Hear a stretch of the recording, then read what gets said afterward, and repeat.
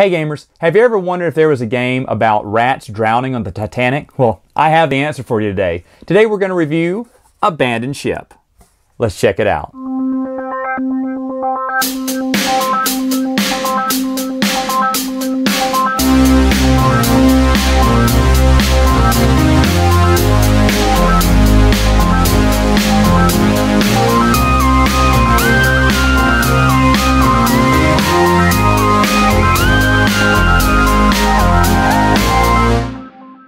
So how you set it for the game is you put all of your colored mice right here on the 10 spot on the track, and then you'll each pick one of these life preservers. Now these are kept secret. This is who you want to win. So in this case, I want green, orange, and purple to win. Now other players may want red, orange, and yellow, or you know, black, green, and yellow, and they're all different colors. So you don't know who uh, your teammates, who the other people, the other players, if they have colors that you have similar or different.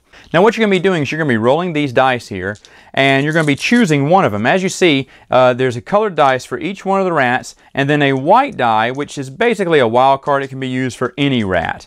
And so what you're going to do is you're going to roll the die and then you're going to choose uh, one of these and use it, utilize it. So in this case, uh, my red rat moves six.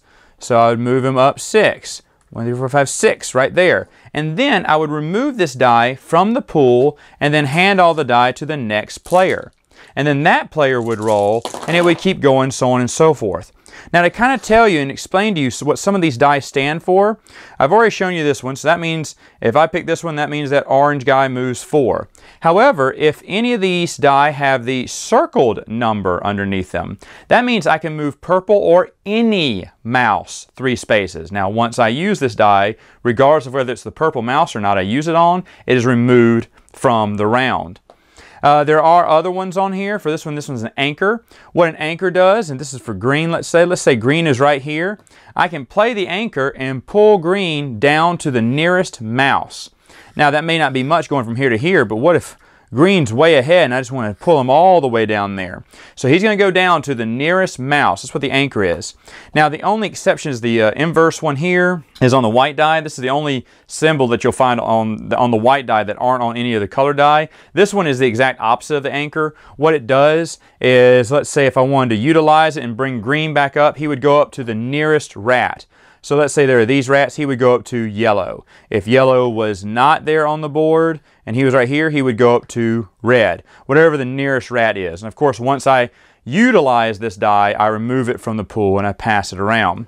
Uh, the final one on here is anyone that has a time signal on it. If it has a little time signal on it, you can use it but it doesn't go away from the pile. You can actually keep it in there and hand them all to the next person if you use the ones with a little time signal on them.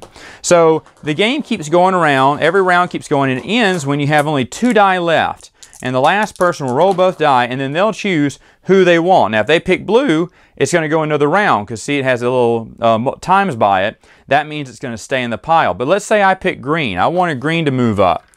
One, two, three, and green moves up three. Okay, now we're down to one die. What happens next? Well, all the die are going to go back into the pool, and we're going to pick one of these little sinking tokens. And the sinking tokens let us know how much this ship here is going to sink. So let me see. If I pick this one, this one says seven. So I go from here, I pull this board down, all the way past 7.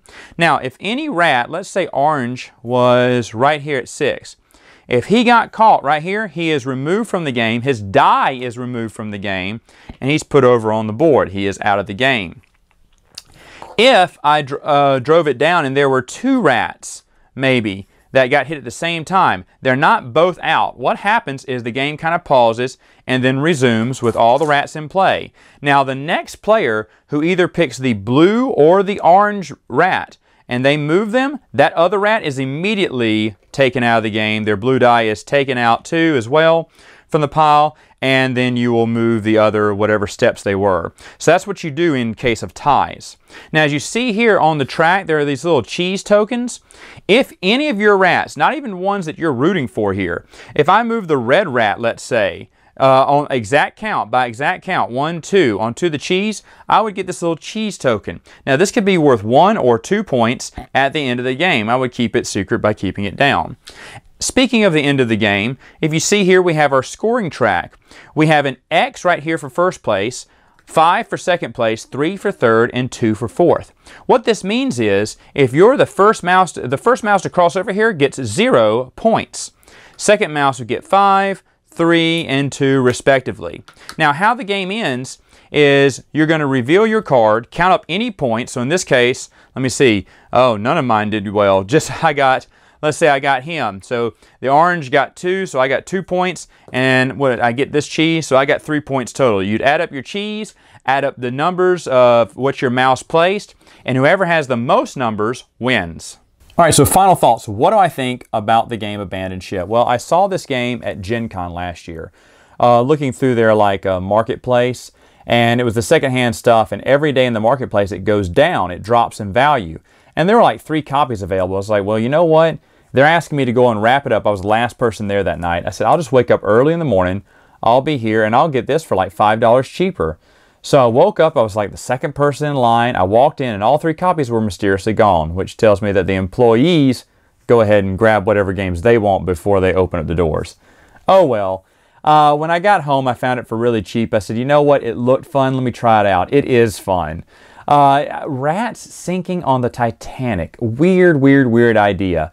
But one of the things I love about this game is you don't know who is uh, who's cheering for what colors because you could be leading a rat all the way to number one and it's not your rat. You just want it to be number one, so it will it'll get zero. If your rat comes in second, you're going to get the most points with five. That's when people's true colors and intentions start coming uh, to the surface, and it's a beautiful game for that reason. Very simple to play, easy to learn as you saw. The instructional video only took a couple of minutes. Uh, I can teach this game, have it running, and it is a ton of fun. I really do like Abandon Ship. Like I said, a decent price. Should you get it? Probably if you think the game is for you. All right, gamers, that is all the time I have for now. Until next time, game on!